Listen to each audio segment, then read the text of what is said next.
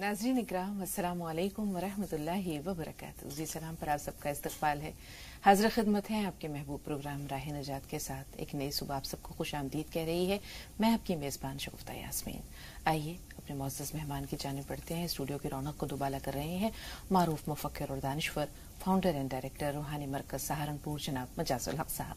مل کر استقبال۔ خوش آمدید۔ صاحب خیر مقدم۔ وعلیکم السلام ورحمۃ اللہ وبرکاتہ۔ اور ناظرین، آپ سب کو بھی آپ کے پروگرام میں شامل کرتے ہیں۔ یقینی طور پر انتظار رہتا ہے آپ کو ہر نئی صبح کے ساتھ اس نئے موضوع کا، جس پہ انشاءاللہ ہم مولانا صاحب سے تبادلہ خیال کریں گے۔ تو آج کے لیے جو موضوع منتخب کیا ہے وہ ہے، کیا غصہ حرام ہے؟ کہتے ہیں کہ غصہ حرام ہے، لیکن آج آپ کو کچھ نئی باتیں انشاءاللہ، کچھ نئے حوالوں سے رہنمائی کی صورت میں ملیں گے مجاز صاحب سے، لیکن آغاز کرتے ہیں اپنی تمہیدی گفتگو سے کہ حضرت ابو حریرہ رضی اللہ تعالیٰ عنہ سے روایت ہے، ایک شخص رسول پاک صلی اللہ علیہ وسلم کے پاس آیا اور کہا، یا رسول اللہ، مجھے کچھ نصیحت کیجیے. رسول پاک نے فرمایا، لا تغضب کہ غضب نہ کرو، غصہ نہ کرو. اس شخص نے پھر دوبارہ اس سوال کو دہرایا اور کہا کہ، یا رسول اللہ، مجھے اور کوئی نصیحت کیجیے. رسول پاک صلی اللہ علیہ وسلم اس کے مزاج سے آشنا تھے، جانتے تھے کہ اس شخص کو غصہ بہت آتا ہے۔ آپ نے وہی بات پھر دہرائی، لا تغضب غصہ نہ کرو.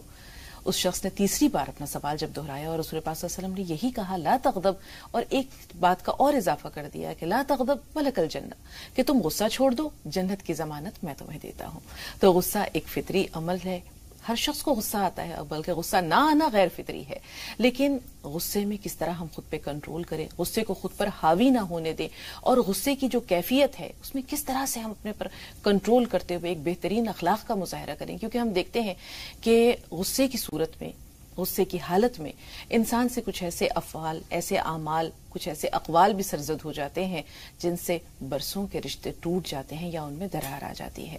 تو غصے پر کنٹرول کرنا بہت ضروری ہے اور یہ اعلیٰ ترین اخلاق کا ایک نمونہ ہے۔ لیکن پہلے ہم آپ سے یہ جانیں گے، مجاز صاحب کہ غصہ ہے کیا؟ وہ کون سی کیفیت ہے جسے ہم غصہ کہتے ہیں؟ کیونکہ ہم دیکھتے ہیں کہ قرآن پاک میں بھی بہت سارے الفاظ ہیں جو غصے کے الگ الگ شیڈز کو پیش کرتے ہیں۔ جیسے کہیں پر اسے سخت کہا گیا ہے، ناپسندیدگی۔ کہیں یہ غیز ہے یعنی غصے کا اظہار ہے۔ کہیں یہ اور آگے جب بڑھتا ہے کلائمیکس کو پہنچتا ہے، تو یہ غضب میں تبدیل ہو جاتا ہے۔ تو یہ جو الگ الگ شیڈز ہیں غصے کے یہ الگ الگ درجات ہیں، ان کے بارے میں کچھ بتائیے۔ الحمد للہ رب العالمین وسلاۃ وسلام اللہ رسول الکریم والا علیہ وصاب اجمعین اما بعد۔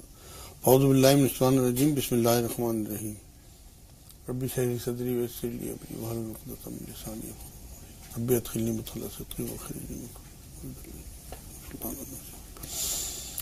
بسم اللہ الرحمن الرحیم۔ اصل میں جو سوال آپ نے کیا ہے نا کہ غصہ کس کیفیت کا نام ہے؟ ہمیں کوئی چیز اگر ناپسندیدہ ہو یا کسی چیز سے ہمیں نفرت پیدا ہو، کسی عمل سے یا کسی چیز کو دیکھ کے، اس کے عوض میں جو ہمارے دل میں کیفیت پیدا ہوتی ہے، نفرت کی یا ناپسندید کی، اسے غصہ کہتے ہیں۔ تو غصہ جیسے آپ نے بتایا کہ فطری عمل ہے، اللہ کی طرف سے رکھا گیا انسان، تو یہ ایک غیر ارادتاً مطلب غیر اختیاری چیز ہے۔ اور قرآن میں اللہ نے کہا ہے کہ غیر اختیاری چیزوں پہ میں پکڑ نہیں کروں گا۔ غصہ آنا جو ہے وہ غیر اختیاری ہے لیکن کرنا اختیار میں ہے تو اس لیے شیطان کے بہکاوے میں آ کے یا اپنے نفس کے بہکاوے میں آ کے غصہ کرنا تو حرام ہے۔ مطلب کیونکہ سامنے والے کا دل توڑتا ہے، نقصان پہنچاتا ہے، اور بہت سارے رشتے اس میں بھائی بھائی سے غصے میں لڑتا ہے، پڑوسیوں سے، شہر والوں سے مطلب مظلوموں پہ غصے کی حالت میں انسان جو ہے، وہ نقصان کرتا ہے اور اپنا بھی اور دوسرے کا بھی۔ لیکن یہ کیفیت اگر آدمی دبا لے تو اس کا بہت اجر ہے۔ اللہ رب العزت نے سورہ آل عمران میں ایک سو چونتیس نمبر آیت میں بات کہی ہے کہ جو لوگ غصہ پینے والے ہیں، وہ اللہ انہیں محبوب رکھتا ہے۔ آپ یہ دیکھیے کہ اگر غصہ آئے گا نہیں، تو کس طرح سے اسے اجر ملے گا؟ تو غصہ آنا بھی ضروری ہے اور آنا سنت ہے، میں تو یہ کہتا ہوں بلکہ لوگوں سے حضور صلی اللہ علیہ وسلم کی سنت ہے، غصہ آنا۔ روایتوں میں لکھا ہے کہ حضور کا چہرہ مبارک سرخ ہو جاتا ہے، جیسے انار کسی نے نچوڑ دی ہوں۔ لیکن پی لیتے تھے۔ حضرت عائشہ رضی اللہ تعالیٰ نے یہ فرماتی ہے کہ حضور نے پوری زندگی میں کبھی کسی سے ذاتی بدلہ نہیں لیا، کبھی کسی پہ اپنی ذات کی وجہ سے غصہ نہیں کیا۔ اللہ کی کوئی شریعت پامال ہوتی دیکھی یا کوئی معاملہ ایسا دیکھا جو خلاف ورزی کر رہا ہو کوئی یا اللہ کا کوئی باقی ہو، اس سے غصہ آتا تھا۔ لیکن اپنی ذات کے لیے ایسے ہی ان کے صحابہ کا معاملہ تھا۔ حضرت علی رضی اللہ تعالیٰ عنہ کے بارے میں بات آتی ہے کہ ایک یہودی سے جھگڑا ہو رہا تھا مطلب تلواریں چل رہی تھیں۔ انہوں نے اسے زیر کر دیا۔ اور جیسے بھی وہ نیچے زمین پہ اور انہوں نے گردن کاٹنے کے لیے تلوار رکھی اس نے ان کے منہ پہ تھوک دیا۔ یہ ہٹ گیا ہے اسے قتل نہیں کیا۔ تو اسے بڑا تعجبہ کہنے لگا آپ کو تو موقع بھی گیا آپ تو مجھے قتل کر دیتے۔ کہ جب تک میں تیرے سے لڑ رہا تھا تلوار میری چل رہی تھی وہ اللہ کے لیے تھی۔ جب تم نے میرے چہرے پہ تھوکا تو اب میری ذات بیچ میں آ گئی تو مجھے وہاں سے ہٹنا پڑا۔ کیا یہ ہے بات اصل میں تو کہ ہمیں غصہ اگر اللہ کے دین کے لیے اللہ کی شریعت کے لیے ہمیں پانچ روپے کا گلاس ٹوٹنے پہ تو غصہ آتا ہے، آج میں دیکھتا ہوں، لیکن اللہ کی شریعت ٹوٹتی ہوئی دیکھتے ہیں، احکام ٹوٹتے ہوئے دیکھتے ہیں، ہمیں کوئی فرق نہیں پڑتا۔ یہاں ایک چھوٹا سا واقعہ، جیسے آپ نے فرمایا کہ جب دین کے جن محارم ہیں، وہ پامال ہوتے تھے، شریعت پامال ہوتی تھی، تو رسول پاک صلی اللہ علیہ وسلم کا جو چہرہ ہے، وہ متغیر ہو جاتا تھا، سرخ ہو جاتا تھا۔ ایک شخص آیا رسول پاک صلی اللہ علیہ وسلم کے پاس اور آپ اپنی چادر جو ہے رسول پاک کے گلے میں ڈال کر اس میں بل دینے لگا۔ یہاں تک کہ آپ کا چہرہ جو ہے وہ سرخ پڑ گیا لیکن آپ نے اسے کچھ نہیں کہا، کیونکہ اس نے آپ کی ذات کے ساتھ یہ جو ہے وہ کیا تھا۔ لیکن ایک مرتبہ آپ گئے حضرت فاطمہ رضی اللہ تعالیٰ عنہ کے گھر اور دیکھا کہ دیواروں پر یا دروازے پر جو ہے وہ پردے آویزہ ہیں اور اس پہ کچھ تصاویر ہیں۔ آپ فوری طور پر باہر نکل آئے۔ پوچھا کیا کیوں؟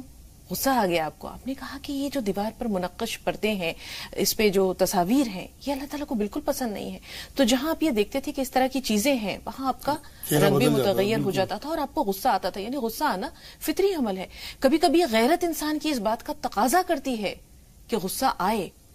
بچے ہیں ماں باپ اگر ان کو تنبیہ نہیں کریں گے کبھی لاڈ بھی کرتے ہیں نخرے بھی اٹھاتے ہیں اور کبھی تنبیہ بھی ضروری ہوتی ہے۔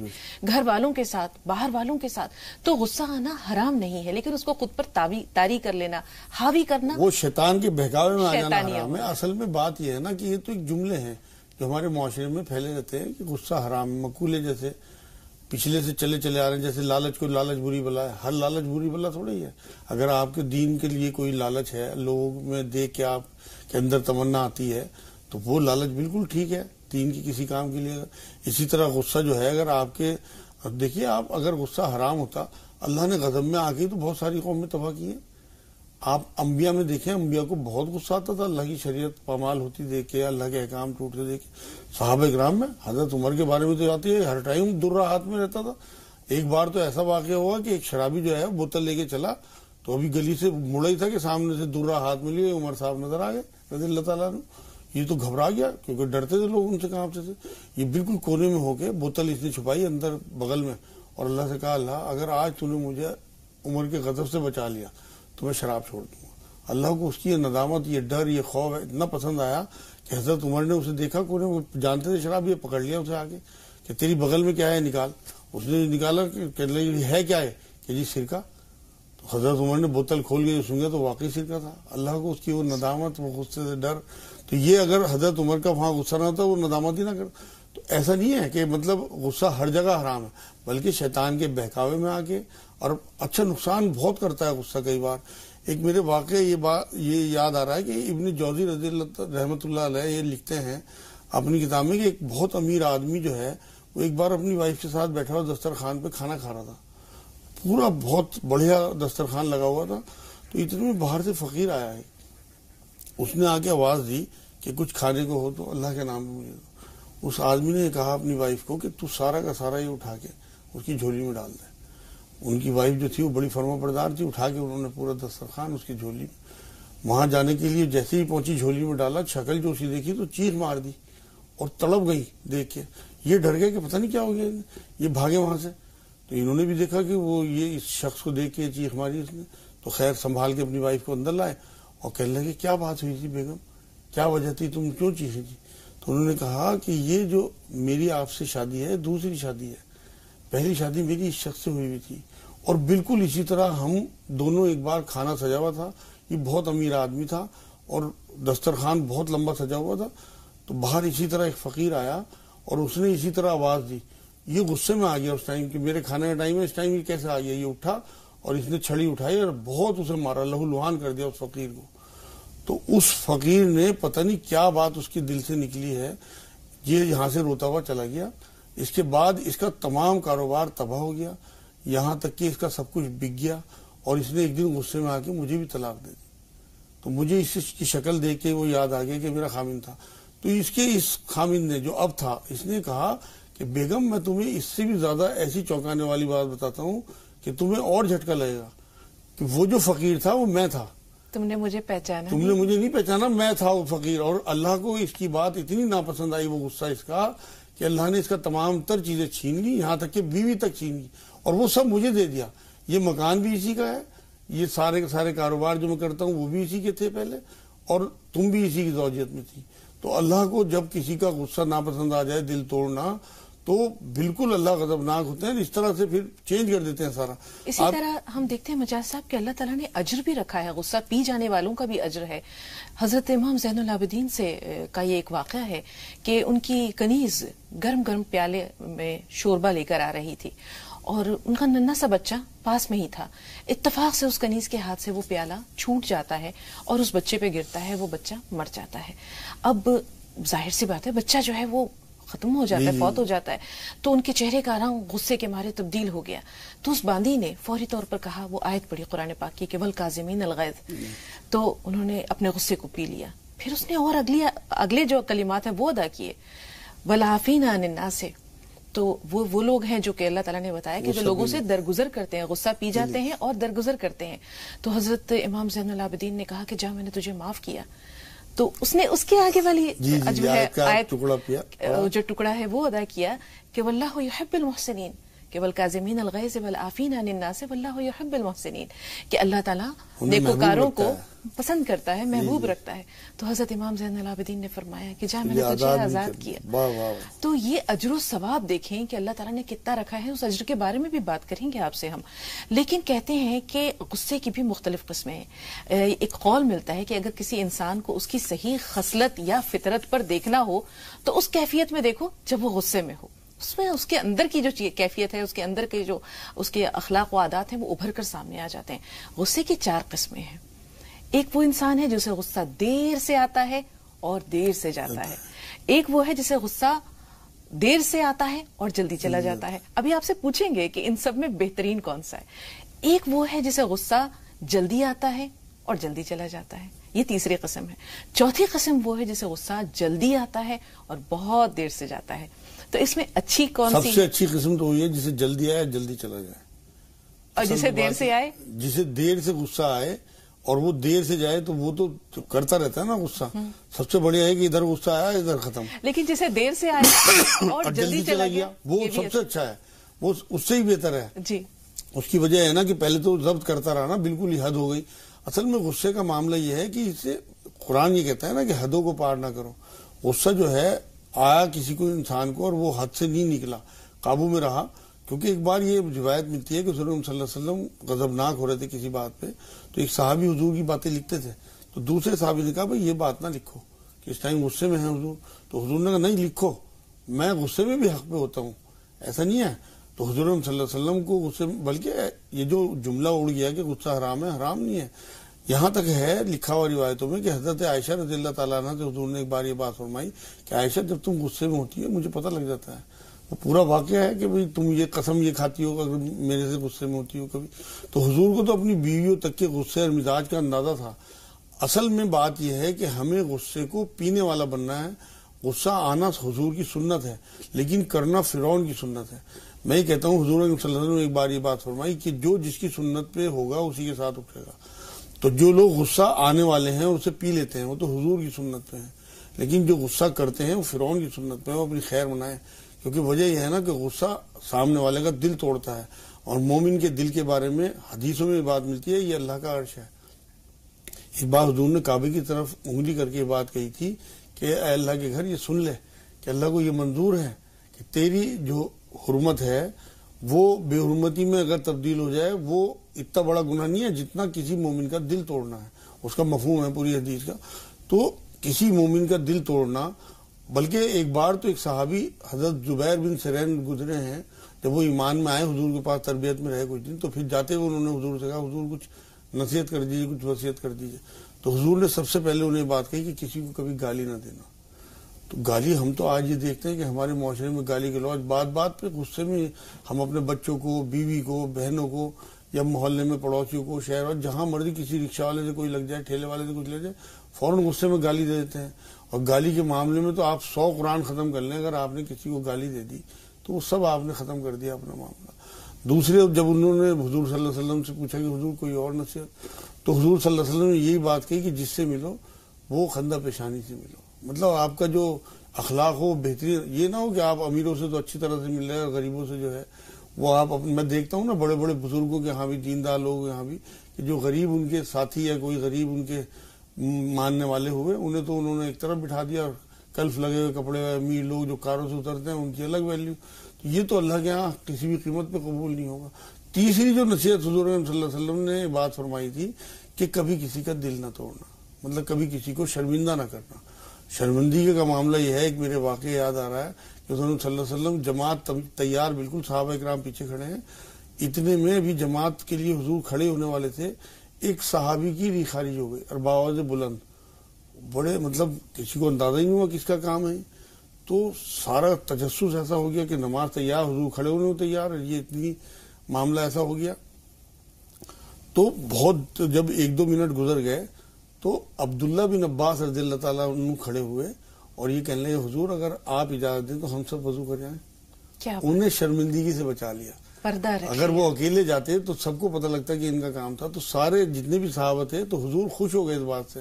اور حضور نے خوشی سے اجازت دی اور تمام لوگ وضو کر کے آئے۔ تو وہاں انہیں شرمندگی سے بچا لیا۔ تو حضور کی تعلیمات جو ہیں اصل میں تو صحابہ کرام بالکل دانتوں سے پکڑتے تھے اور یہ سمجھتے تھے کہ یہ حرف آخر ہے۔ یہی چیزیں ہمارے اندر آنی چاہیے اور جس طرح حضور ہمیں غصے کے بارے میں تلقین کر کے ایسی ایسی حدیثیں ملتی ہیں۔ غصہ جو ہے پینے والوں کے لیے اجر بھی بہت ہے۔ ایک بار تو یہ بات ملتی ہے کہ اللہ نے یہ تک فرمایا ہے کہ جو غصہ پیتے ہیں، انہیں میں سب کے سامنے عزتیں دوں گا آخرت میں۔ اور غصہ ختم کرنے کے لیے حضور کی حدیثیں ہیں کہ غصہ ایک حدیث ہے ابن ماجہ کی۔ حضور نے فرمایا، غصہ شیطان کی طرف سے ہے۔ شیطان کو اللہ نے آگ سے بنایا اور آگ کا علاج پانی ہے۔ تو غصہ تمہیں آئے تو یا تو غسل کر لیا کرو یا وضو کر لیا کرو یا پانی پی لیا کرو۔ ایک اور حدیث میں پوزیشن بدل لیا کرو۔ گھر میں ہو باہر نکل جاؤ بیٹھے ہو کھڑے ہو جاؤ کھڑے ہو تو لیٹ جاؤ۔ مطلب کچھ کلمات بھی ہیں مجھا صاحب جی، جی، کچھ جی۔ کلمات بھی ہیں کہ اگر کسی کو غصہ ہے اعوذ باللہ من الشیطان الرجیم۔ سب مین حضور نے فرمایا بہترین بہترین جو کلمات ہیں وہ یہ ہیں جو آپ بول رہی ہیں۔ اعوذ باللہ من الشیطان الرجیم ہے لا حول ولا قوت الا باللہ ہے۔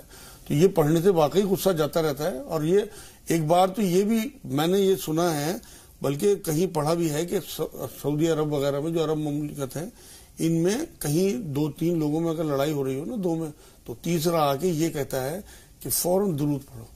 اللہ کے رسول صلی اللہ علیہ وسلم تو صلی اللہ محمد ہاں صلی اللہ محمد حضور پہ درود پڑھو۔ تو وہ جھگڑا ختم کر دیتے ہیں ان کا غصہ ٹھنڈا ہو جاتا ہے۔ تو غصہ جو ہے وہ تو بارود ہے اور درود جو ہے وہ پانی ہے۔ کیا بات ہے۔ تو وہ وہاں پہ تو یہ اگر ہم اپنی زندگی میں اتاریں کہ کہیں غصہ یا جھگڑا ہوتا دیکھیں، ہم بھی تلقین کریں لوگوں کو، درود پڑھیں۔ درود تو اندر سے ٹھنڈا کرتا ہے نا خون کو۔ تو وہ ان شاء اللہ تعالیٰ اس بارود کو ٹھنڈا کرے گا درود۔ مجھے صاحب، پھر ہم آتے ہیں سو باتوں کی ایک بات کی طرف۔ کہ انسان کیوں نہیں اخلاق نبوی کو رسول پاک صلی اللہ علیہ وسلم کے اخلاق کو اپنے سامنے رکھتا ہے؟ ہم دیکھتے ہیں کہ رسول پاک صلی اللہ علیہ وسلم اگر اپنے نبوی جاہو جلال کو تاری رکھتے، تو شاید لوگ ان کے اتنے قریب نہیں آ پاتے۔ کیونکہ آپ کا آپ کا ہر وقت جو مسکراتا ہوا چہرہ تھا، وہ لوگوں کو آپ کا یعنی لوگوں کی نظر میں آپ کو محبوب بناتا تھا۔ لوگ بے خوف و خطر آپ کے پاس چلے جاتے تھے، آپ کی طرف کھینچے چلے جاتے تھے۔ ایک مرتبہ رسول پاک صلی اللہ علیہ وسلم اپنے دھیان میں بیٹھے ہوئے تھے اور وہ مسکراہٹ کی کیفیت نہیں تھی، تو ایک صحابی پر لرزہ تاری ہو گیا۔ تو رسول پاک صلی اللہ علیہ وسلم ہر وقت مسکراتے رہتے تھے، لوگوں سے خندہ پیشانی سے ملتے تھے۔ تو یہ جو مسکراہٹ ہے، یہ بھی غصہ دور کرنے کا علاج ہے، لوگوں کو اپنے قریب بلانے کا طریقہ ہے۔ یہ تو قرآن ہے جو آپ بتا رہی ہیں۔ قرآن کی ایک آیت میں اللہ نے کہا کہ اے نبی، اگر تو سخت دل ہوتا یا سخت زبان ہوتا، سخت مزاج ہوتا تو لوگ تیرے سے چھڑ جاتے، تیرے ساتھی، تیرے پاس ہی نہ آتے۔ آپ یہ دیکھیں کہ غصہ پینے والوں کے لیے اللہ کے رسول صلی اللہ علیہ وسلم کی حدیث یہ ہے کہ اللہ کو سب سے زیادہ غصے پینے کا وہ گھونٹ سب سے زیادہ پسند ہے پینے والی چیزوں میں یعنی کہ زمزم سے بھی زیادہ۔ کہ جو اللہ کی رضا کے لیے کسی نے غصہ غصہ دوسرے صبر کا صبر کرنا دوسری بات یہ ہے کہ اللہ کے رسول نے یہ بھی فرمایا کہ پہلوان وہ نہیں ہے کہ جو کسی کو پچھاڑ دے بلکہ پہلوان وہ ہے جو غصے کے ٹائم اپنے اوپر قابو کر لے اور لوگوں سے درگزر کرے اور معاف کر دے۔ تو غصے کی کیفیت میں حد سے پار نہ جانا حدوں میں رہنا بالکل اس غصے کو انشاءاللہ تعالی اللہ پاک قبول کریں گے جو دین کی شریعت کے یا کسی احکام کے اللہ کے ٹوٹتے ہوئے غصہ آئے گا۔ تو وہ اجر کا باعث ہے بلکہ۔ اور جو شیطان کے بہکاوے میں یا اپنے نفس کو خوش کرنے کے لیے اور ظلم کرنے کے لیے لوگوں مظلوموں پہ غصہ کریں گے لوگ، جیسے بیوی ہیں، ملازم ہیں، ماتحت ہیں، ان کو تو ستر ستر دفعہ معاف کرنے بالکل وجہ صاحب، یہاں ایک لطیفہ یاد آ رہا ہے۔ گرچہ اس کا موقع نہیں ہے، کسی شخص نے دریافت کیا، ایک بزرگ شخص سے، کہ بھئی آپ کی شادی کو پچپن برس ہو گئے اور آپ آج بھی بہت جو ہے وہ مطمئن اور خوشباش نظر آتے ہیں۔ تو مجھے بھی کچھ راز بتائیں کہ آپ کی کامیاب ازدواجی زندگی کا راز کیا ہے؟ تو انہوں نے کہا، میاں، کیا بتاؤں؟ ہم دونوں کے درمیان ایک سمجھوتا ہو گیا تھا شادی کے ابتدائی زمانے میں ہی کہ جب بیوی کو غصہ آئے گا تو وہ کچن میں چلی جائیں گی اور جب مجھے غصہ آئے گا تو میں باغیچے میں چلا جاؤں گا۔ اب پچپن سال ہو گئے میں باغیچے میں ہوں۔ تو یہ ایک چھوٹا سا جی، جی، لطیفہ جی۔ ہے لیکن بنیادی چیز یہی ہے خود پہ کنٹرول لیکن میں غصے کے بارے میں ایک جملہ اور کہہ دوں آپ کو غصہ ہے بڑی ہوشیار چیز۔ یہ ہمیشہ کمزوروں پہ آتا ہے۔ ہاں، ہاں۔ بیوی بچوں پہ بہن بھائیوں پہ جو کمزور ہیں جو آپ کا کچھ بگاڑ نہیں سکتے ماں باپ پہ بوڑھے ماں باپ پہ جبکہ قرآن یہ کہتا ہے ان کے سامنے وہ بھی نہ کہنا۔ وہ آپ کو بچپن میں کس طرح پالتے ہیں؟ دوسرے ٹھیلے والے ہیں رکشا والے ہیں۔ غصہ کبھی کسی طاقتور پہ نہیں آتا۔ کسی پولیس انسپیکٹر پہ، کسی پولیس والے کو اگر موٹر سائیکل پیچھے سے مار دیں تو آپ کہتے ہیں کوئی بات نہیں سر، ہو جاتا ہے۔ کسی ایم ایل اے پہ، کسی ایم پی پہ، کسی ایس پی پہ کبھی نہیں آتا۔ کیونکہ اس- یہ شیطان کی طرف سے شیطان چاہتا ہے کہ آپس میں لڑے بھیڑے اور ان کا جو دین ہے وہ خراب ہو، ان کا جو ایمان ہے۔ اگر غصہ والا، کوئی واقعی غصے والا ہے تو وہ کسی انسپیکٹر پہ کر کے دکھائے۔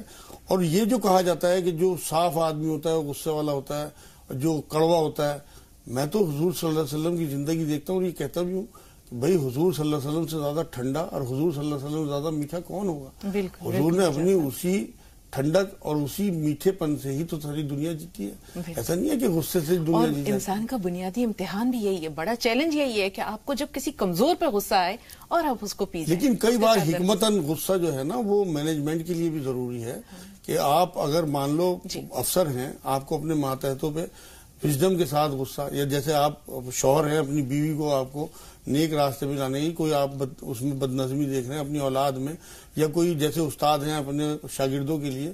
یہ سارے غصے کرنے ضروری ہیں نہیں کریں گے تب بد نظمی ہو جائے جی۔ گی تو مینجمنٹ کے لیے کئی بار غصہ شو کرنا بھی ضروری ہے۔ بالکل مجھے صاحب بہت طویل یہ موضوع ہے۔ دو کالرز ہمارے ساتھ ہیں۔ پہلے فرزانہ صاحبہ آپ سے مخاطب ہے۔ فرمائیے سوال کیا ہے۔ فرزانہ صاحبہ ٹی وی کی آواز میوٹ کر دیجیے۔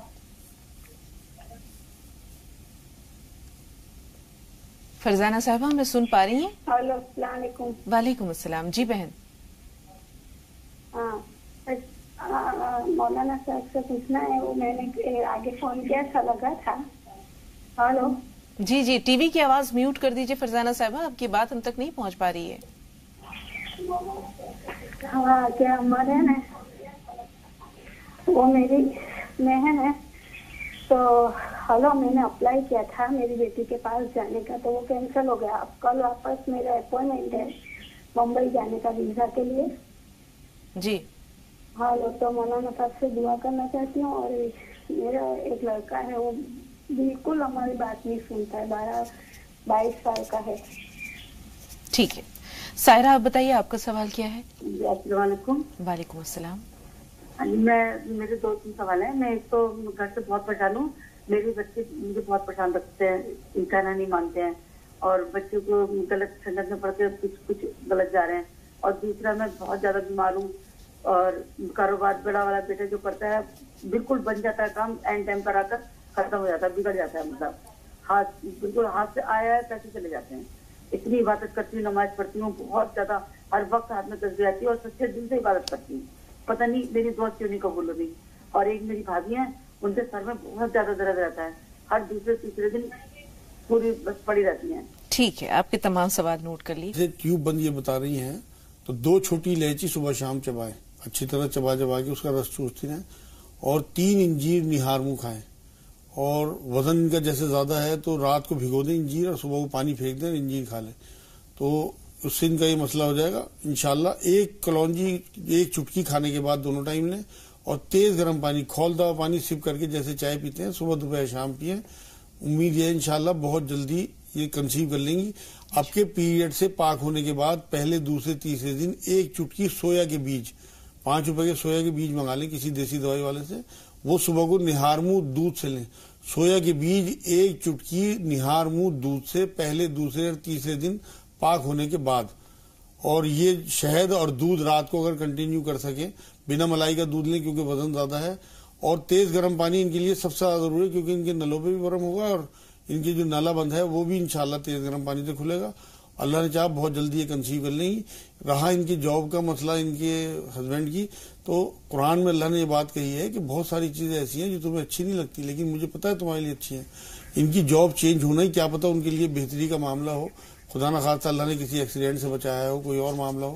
تین سو بار یا زلجلال والی کرام، تین سو بار یا ولی، یا والی، یا نصیر، سو بار لاہور ولا قوت اللہ بلّہ چالیس بار آیت کریمہ۔ یہ تو کنٹینیو کریں تصویر پانچ نمازیں اپنی بھی اور اپنے شوہر کی درست کرائیں۔ اور قرآن میں جو ہم نماز میں آیت پڑھتے ہیں، ربنا آتنا فی دنیا حسنتم، فی الآخرت حسنتم، وقنا عذاب النار۔ سورہ بقرہ کی دو سو ایک نمبر آیت۔ اس کا فرد کریں، دونوں میں ابھی کم سے کم ایک ایک تصویر ایسی جاب لگے گی، انشاءاللہ کبھی نہیں چھوٹے گی اللہ۔ انشاءاللہ۔ سخاوت بھائی، فرمائیے سوال کیا ہے؟ السلام علیکم۔ وعلیکم السلام۔ جی بھائی۔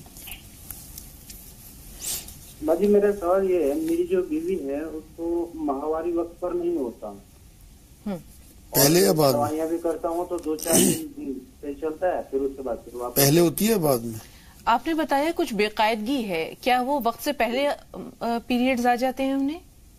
جی۔ یا یا ڈیلے ہوتا ہے؟ کبھی پہلے آ جاتا ہے کبھی بعد میں ہوتا ہے اور کبھی ایسا ہوتا ہے کہ پندرہ پندرہ دن میں ہو جاتا ہے۔ ٹھیک ہے۔ میں بتاتا ہوں۔ جی۔ اس کے علاوہ کوئی سوال ہے سخاوت بھائی؟ اور دوسرا میں بھی اگر اپنا علاج کرتا ہوں تو دوائیاں کام نہیں کرتی۔ جی آپ کو کیا پریشانی ہے؟ جیسے جسمانی پیشاب میں پیلا پن اور منی میں پتلا پن یہ سب دوائیاں کرتا ہوں تو دوائی الٹا اثر کرتی ہے۔ دو۔ چار دن اپنا صحیح دکھاتی ہے کام پھر بعد میں پلٹتی ہے۔ ٹھیک ہے تھوڑا سا انتظار سخاوت بھائی۔ فیض سے مخاطب ہے فیض بھائی سوال بتائیے۔ ہیلو السلام علیکم۔ وعلیکم السلام۔ جی فیض۔ جی میں میرا ویٹ بہت بڑھ گیا ہے اور ویٹ کے بارے میں بتانا چاہتا تھا ہے سب کو۔ وہ سن رہے ہیں؟ کتنا وزن ہو چکا ہے آپ کا؟ جی میرا ایک سو تین وزن ہو چکا ہے۔ میں بتاتا ہوں۔ جی ٹھیک ہے۔ یہی مسئلہ ہے؟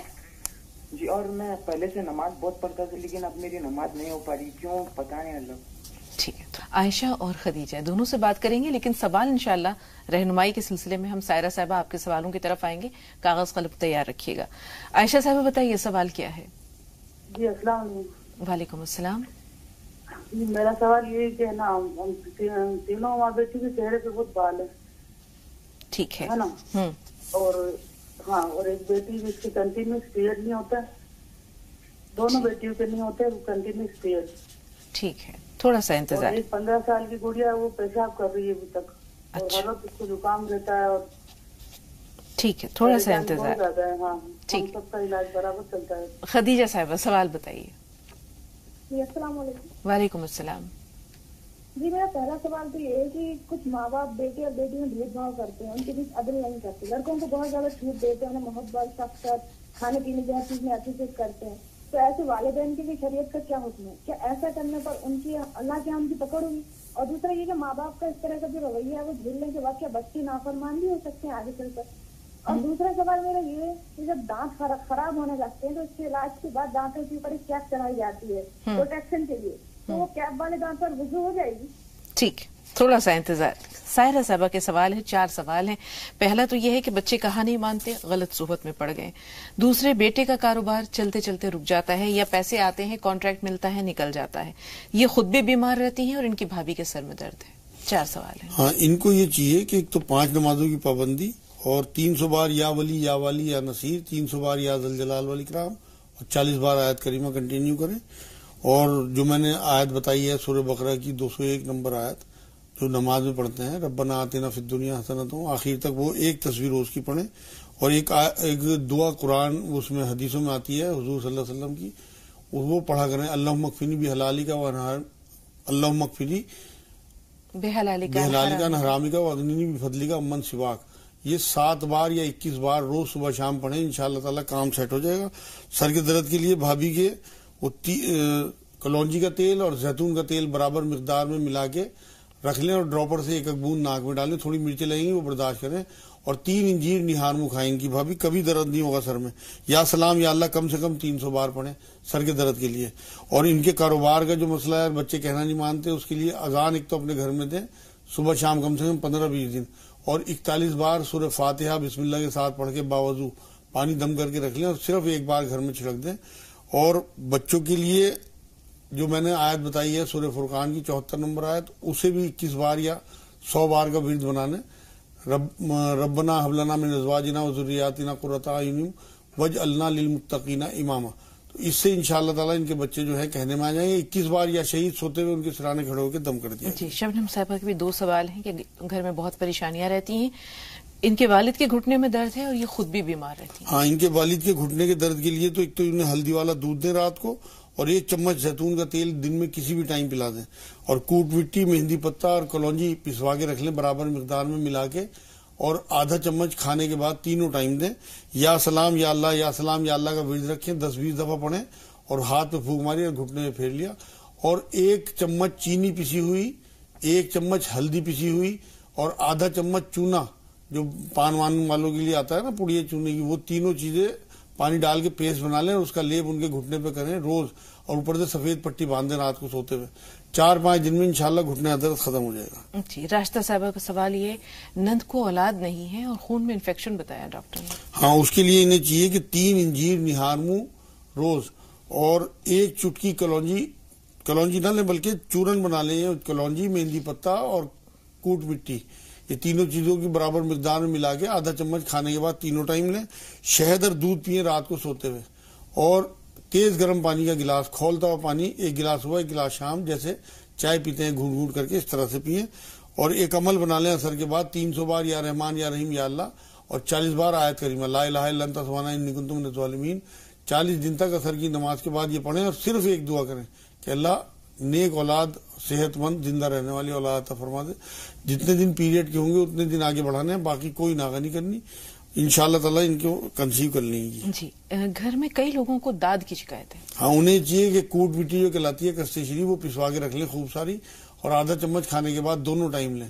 اور کفور اور ناریل کا تیل گرم کر کے ڈبے میں بھر کے رکھ لیں رات کو سوتے ہوئے لگائیں اور صبح کو نہانے کے بعد خالی ناریل کا تیل جسم پہ لگائیں اور پانچ ناب کے دانے رات کو بھگو دیں اور صبح کو کھا لیں۔ انشاءاللہ سارے دانت ختم ہو جائیں گے۔ انڈر گوشت بند رکھیں۔ یا رحمان یا رحیم یا اللہ تین سو بار۔ اور لا الہ الا انت سبحانہ انی کنت من الظالمین سو بار۔ یہ داد والے یہ لوگ پڑھیں۔ انشاءاللہ ایک ہفتے میں آپ دیکھیں گے داد ختم ہو جائیں گے۔ انشاءاللہ۔ علینا فرمائیے سوال کیا ہے؟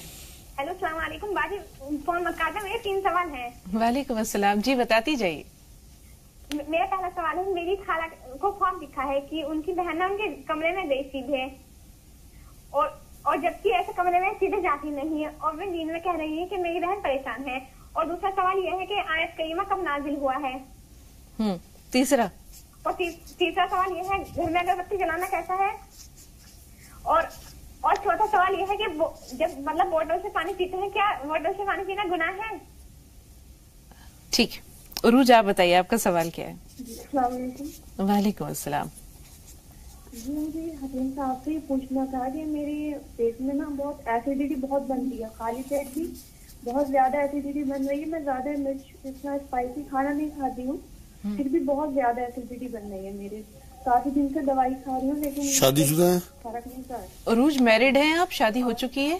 نہیں انمیرڈ ٹھیک۔ ہے تھوڑا سا انتظار ایک بریک لیں گے لیکن بریک کے بعد جب ہم آئیں گے پروگرام میں واپس تو سخاوت بھائی انشاءاللہ غور سے سنیے گا آپ کے سوال پہ رہنمائی لیں گے۔ مجاز صاحب سے سخاوت بھائی، آپ نے اپنی اہلیت سے متعلق جو سوال پوچھا ہے، عائشہ صاحبہ نے وہی سوال اپنی بچیوں کے بارے میں بھی جاننا چاہا ہے۔ ان کی بچیوں کو بھی بے قاعدگی ہوتی ہے ماہواری میں۔ تو اس کے لیے کوئی دعا اور اصل میں جو انہوں نے سوال کیا نا سخاوت صاحب، ان کی وائف کو زیادہ تر پیریڈ پہلے ہو جاتے ہیں۔ وہ کمزوری کی علامت ہے۔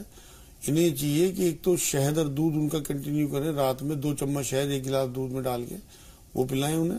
اور کوئی خمیرہ خمیرہ گاؤ زبان وغیرہ اس طرح کا، ہمدرد وغیرہ کسی بھی کمپنی کا لیں اور ایک چمچ انہیں رات کو سوتے ہوئے دودھ سے، اسی دودھ سے دے دیں اور کستے شیری کوٹ مٹی جو ہوتی ہے، مہندی پتا اور کلونجی برابر مقدار میں پسوا کے اور ایک چمچ کھانے کے بعد دونوں ٹائم دے انہیں تین سو بار یا رحمان یا رحیم یا اللہ چالیس بار آیت کریمہ۔ یہ تو ان کی وائف کا معاملہ ہو گیا۔ لیکن انہوں نے اپنی بھی کمزوری کے لیے کہا ہے تو پانچ چھوارے رات کو دودھ میں بھگو دیں، گرم دودھ میں اور صبح کو گرم ہی کر کے کھائیں۔ گٹھلی نکال کے بھگو دیں گرم دودھ میں اور صبح کو دودھ گرم کر کے چھوارے چمچ سے کھا کے اور وہ دودھ پی لیں۔ ایک چیز آتی ہے ایلوا۔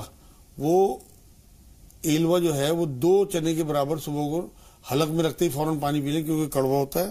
اور ازگن پاؤڈر آتا ہے ایک چمچ ازگن پاؤڈر رات کو دودھ سے لیں انشاءاللہ تعالیٰ ان کی کمزوری جی۔ دور ہو جائے گی۔ اور یا حیو یا قیوم دو سو بار اور یا قوی یا حفیظ دو سو یا تین سو بار یہ پڑھیں انشاءاللہ۔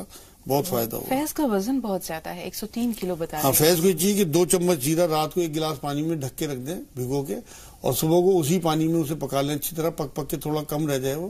ابھی اسے چھان کے زیرہ چبا لیں اور نوایا پانی وہ پی لیں۔ ایک مہینے تک کر لیں انشاءاللہ پانچ چھ کلو وزن کم ہوگا۔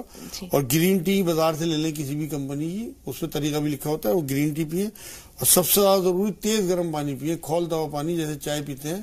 دن میں کم سے کم تین بار۔ سپ کر کے گھونٹ گھونٹ کر کے جیسے چائے پیتے ہیں۔ کھولتا ہوا پانی پیئیں۔ اور ایک کلونجی اور مہندی بیج۔ یہ سو سو گرام کلونجی اور مہندی بیج۔ اور اس میں پانچ گرام یا دس گرام ہینگ ملا کے اسے پسوا لیں۔ گھر میں پیس لیں گرائنڈر میں اور آدھا چمچ دن میں دو یا تین بار کھانے کے بعد لیں۔ اور یا سلام یا اللہ یا سلام یا اللہ کم سے کم تین سو بار پڑھیں۔ جی نماز میں باقاعدگی نہیں ہو پا رہی۔ ہے نماز کے لیے انہیں ایک تو سورہ عال عمران کی آٹھ نمبر آیت ویڈ رکھیں جہاں سات نمبر ختم ہوگی وہیں سے آٹھ نمبر شروع ہوگی۔ اور ایک لاہور ولا قوت اللہ باللہ کم سے کم تین سو بار پڑھیں۔ جی۔ اور چلتے پھرتے یا ولی یا نصیر انشاءاللہ نمازیں درست ہو جائیں گی۔ بس دو نفل پڑھ کے اللہ سے توبہ کے کہ اللہ آپ پچھلی میری معاف کر دو آگے میں نہیں چھوڑوں گا۔ جی۔ تو کمٹمنٹ کر لیں اللہ سے انشاءاللہ پچھلی اللہ معاف کر دیں گے آگے یہ نہ چھوڑیں۔ اور پھر نماز نہ چھوڑیں۔ جی۔ شروعات چاہے اس طرح کر دیں کہ فرض فرض پڑھ دیں گھر پہ پڑھ دیں مطلب شروع کر دیں۔ پھر دل لگنے لگے تو مسجد بھی جائیں اور پوری بھی پڑھیں۔ جی عائشہ صاحبہ کے بھی تین سوال ہیں۔ چہرے پر بال ہیں ان کے بھی اور ان کی بچیوں کے بھی۔ بچیوں کو پیریڈز کا مسئلہ بھی ہے اور چھوٹی بچی جو ہے وہ بیڈ ویٹنگ کا مسئلہ ہے وہ ہاں تو یہ۔ چہرے پہ بال ان کے اور ان کی وائف بچوں کے آ رہے ہیں تو وہ ہارمونز ڈسٹرب ہو گئے ان کے اسی لیے پیریڈ بھی ان کے لیٹ ہو رہے ہوں گے یا کم ہو رہے ہوں گے۔ چہرے کے بالوں کے لیے تو انہیں یہ چاہیے کہ جئی کا آٹا آتا ہے جئی ایک طرح کا اناج ہے جو گھوڑا کھاتا ہے۔ اوٹس جسے کہتے ہاں ہیں۔ ہاں وہ اسے پسوا لیں اور جئی کے آٹے کو بھگو کے اس میں گلاب جل ڈال کے گلاب جل سے بھگو کے اسے اور وہ لیپ کریں چہرے پہ اور ایک گھنٹے میں اتار دیا کریں۔ سارے بال ڈیلی کر لیں کم سے کم ایک ہفتے تک سب بال ان کے ختم ہو جائیں گے انشاءاللہ۔ اور جو ڈسٹربینس ہارمونز کی وجہ سے ہے اس کے لیے ایک چمچ شہد اور ایک چمچ نیمبو کا رس روز ملا کے پئیں۔ تو کھٹائی تھوڑی سی بڑھا دیں گے تو ہارمونز جو ہیں وہ بیلنس آ جائیں گے انشاءاللہ۔ جی۔ یا رحمان یا رحیم یا اللہ تین سو بار۔ اللہ الہ الا انت سبحانہ انی کنت من الظالمین چالیس بار۔ اب رہ گیا بستر پہ پیشاب کرنے کا مسئلہ۔ پندرہ سال کی بچی ہے۔ پانچ دانے پستہ کے رات کو سوتے ہوئے اسے دیں۔ اور انار کا چھلکا پسوا لیں۔ دیسی دوائی والوں کے یہاں مل جائے گا۔ آدھا چمچ یا ایک چمچ انار کا چھلکا پندرہ سال کی ہے تو ایک چمچ دیں۔ اور مغرب کے بعد پانی بند کر دیں پندرہ دن کے لیے۔ کھانا بھی چاہے مغربی ٹائم دے دیں۔ اور اس بچی کو کہیں کم سے کم سو بار یا رحمان یا رحیم یا اللہ پڑھے انشاءاللہ پیشاب بند ہو جائے گا۔ جی۔ خدیجہ کا سوال بہت اہم ہے اور اسے تھوڑا وقت دینا چاہ رہے ہیں اس لیے تھوڑا سا روکتے ہیں اس سوال کو۔ علینا کا سوال یہ ہے کہ آیت کریمہ کا نزول کب ہوا؟ آیت کریمہ حضور صلی اللہ علیہ وسلم پہ نازل ہوئی ہے حضرت لیکن یونس علیہ السلام۔ جی نہیں نہیں یونس علیہ السلام کی دعا ہے کہ اللہ نے انہیں وہ دعا سکھائی تھی مچھلی کے پیٹ میں۔ لیکن اللہ کے رسول صلی اللہ علیہ وسلم پہ نازل ہوئے۔ قرآن سارا اللہ کے رسول صلی اللہ علیہ وسلم پہ نازل ہوا ہے۔ بتایا ہے کہ اگر ہم یہ دعا اسے نہ سکھاتے یونس علیہ السلام کو تو وہ ساری عمر مچھلی کے پیٹ میں پڑا رہتا۔ جی۔ یہ تو اللہ نے اپنے رسول کو بتائی ہے بات۔ نازل حضور پہ ہوئی۔ حضور پہ بھی بالکل صحیح کہہ رہے۔ اسی طرح ان کا سوال یہ ہے کہ گھر میں اگربتی جلانا کیسا ہے؟ بالکل ٹھیک ہے کوئی حرج نہیں ہے۔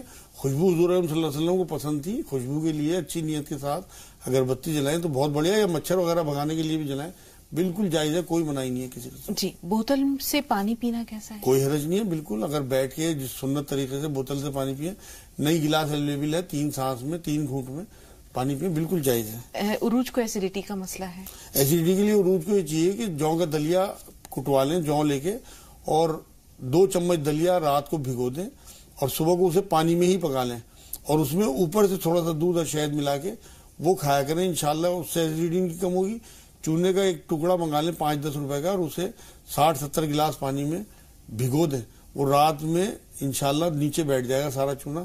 صبح کو اوپر اوپر کا پانی نتھار لیں اور بوتلوں میں بھر کے رکھ لیں۔ دو تین بار کپڑا چھان کر کے۔ اور آدھا کپ وہ پانی اور اس میں ایک کپ سادہ پانی ملا کے وہ پیئیں۔ ہمیشہ کے لیے ایسیڈیٹی ختم ہو جائے گی۔ صبح شام یہ چونا پانی پی لیں، دس پندرہ دن۔ دانتوں پر کیپ لگا دیا جاتا ہے جیسے بالکل جائز ہے کوئی حرج نہیں ہے پانی اندر تک جاتا ہے کلی اچھی طرح کر لیا کریں کیونکہ یہ ساری جو ٹیکنالوجی ہے جتنی بھی ڈسکوری ہے وہ سب ہمارے لیے ہے اور اس میں کوئی حرج نہیں ہے اب آخری۔ اور بہت اہم سوال جو ہے وہ دوسرے میں اس میں ایک اور وضاحت کر دوں۔ وضو کے چار فرض اللہ نے جو قرآن میں بیان کیے ہیں اس میں کلی کرنا نہیں ہے۔ کلی کرنا سنت ہے۔ اگر کہیں پانی نہیں بھی پہنچتا منہ میں تو وہ کوئی حرج نہیں ہے اس میں۔ تو اس لیے اپنے ذہن بالکل کلیئر رکھیں۔ بالکل وہ ان کا بھی اولاد۔ میں خاص طور پر بیٹی اور بیٹی میں فرق کرنا کیسا ہے؟ اور اس سلسلے میں اگر اولاد نافرمان ہو جاتی ہے تو اس کا مواخذہ کس سے ہوگا؟ اصل میں بات یہ ہے ماں باپ کبھی غلط نہیں ہوتے۔ ہمارے اپنے اعمال جو ہیں وہ تھوڑا سا رجحان ہمارے ماں باپ کا بدل دیتے ہیں۔ یہ انہیں غلط فہمی ہو گئی۔ ماں جس ماں نے نو مہینے پیٹ میں لڑکے کو رکھا ہے اسی نے لڑکی کو بھی رکھا ہے۔ لیکن کئی بار ایسا ہوتا ہے ہماری جہالت کی وجہ سے ہم اپنے بچوں کو وہ اٹینشن نہیں دے پاتے جو ان کا حق ہوتا ہے۔ خاص طور سے بچیوں کو، جس معاشرے میں ہم رہ رہے ہیں، وہاں پہ بچیوں کو یا عورتوں کو پیر کی جوتی سمجھا جاتا ہے۔ حضور صلی اللہ علیہ وسلم نے تو وہ توقیر دی ہے بچیوں کو۔ حضرت فاطمہ رضی اللہ تعالیٰ عنہ آتی تھی تو اس کے ہاتھ چومتے تھے، ماتھا چومتے تھے، چادر بچھا کے اس پہ بٹھاتے تھے۔ لیکن کیونکہ ہمیں دین کا پتہ نہیں ہے، جہالت ہے، تو اس لیے بچیوں کو تھوڑا سا حقیق بلکہ حضور صلی اللہ علیہ وسلم نے تو یہاں تک تعلیم دی ہے کہ اگر تم گھر میں گھسو اور کوئی چیز لاؤ تو پہلے بچیوں کو دو۔ تو ان ماں باپ کو یہ بات سمجھنی چاہیے کہ چھوٹے چھوٹے دل ان بچیوں کے ہوتے ہیں، دوسرے گھروں میں جانا ہوتا ہے۔ ماں باپ کے ہاں سے اگر یہ اس طرح سے حقیر ہو کے جائیں گی تو وہاں بھی انہیں پتہ نہیں کیا ملنے والا ہے موما ہوتا ہے، سسرال کا معاملہ کیا کھلے گا لفافے میں سے۔ تو بہت احتیاط کرنی چاہیے، لیکن انہیں اپنے ماں باپ سے بدزن نہیں ہونا چاہیے۔ وہ اپنی کمزوری یا اپنی جہالت کی وجہ سے اگر ایسا کر رہے ہیں تو یہ خوش رہیں، کیونکہ یہ کبھی بھی حق ادا نہیں کر سکتے۔ ایک صحابی نے صلی اللہ علیہ وسلم سے بات کہی کہ میں نے اپنی ماں کو کندھے پہ بٹھا کے حج کرایا ہے۔ کیا میں نے حق ادا کر دیا؟ تو حضور نے فرمایا حضور بلکہ تھوڑا سا غضبناک ہوئے اور یہ کہنے لگے، تیری ماں نے تیری پیدائش کے ٹائم جو جھٹکے برداشت کیے ہیں، ایک جھٹکے کا بھی تو نے حق ادا نہیں کیا۔ تو یہ بالکل اپنا دل مطمئن رکھیں اور ماں ان کے لیے ماں کے پیروں کے نیچے جنت ہے، باپ جنت کا دروازہ ہے۔ وہ اگر تھوڑی بہت ہی پارشلٹی کر رہے تو کیا پتا ان کی کیا نیت ہے؟ اگر خدا نہ خواہ وہ حق تلفی کر رہے تب بھی انہیں معاف کر دیں کہ آخرت میں ان کی پکڑ نہ ہو، کیونکہ ماں باپ نے ان کے لیے سب بہت بھگتا ہوا ہوتا ہے۔ ساری ساری رات جاگتی ہے ماں۔ دو سال کسی کچھ اپنا خون چسانا، نو مہینے پیٹ میں رکھنا، رات رات بھر جاگنا آسان نہیں ہوتا۔ تو ان کے احسان صرف اس وجہ سے کہ وہ بھائی کو زیادہ توجہ دے رہی، بلکہ معاف کریں اگنور کریں ان چیزوں کو، اپنا دل بڑا کریں۔ بچیوں کو تو اللہ نے بہت بڑے دل کے ساتھ پیدا کیا۔ بہت شکریہ مجاز صاحب اسٹوڈیو میں تشریف آوری کے لیے اور ناظرین کی بھرپور رہنمائی کے لیے۔ امید ہے کہ خدیجہ جو ہے وہ اب نا امید نہ ہوں گی یا ان کا جو ایک رویے میں ہم نے دیکھا تھا کہ وہ مایوس ہی ہیں۔ آپ کی باتوں سے ان کا دل جو ہے وہ بڑا ہو جی، گیا ہوگا۔ بہت شکریہ۔ انشاءاللہ کل بھی آپ سے ملاقات رہے گی جی، ایک نئے موضوع کے ساتھ۔ تو ناظرین اجازت لیتے ہیں۔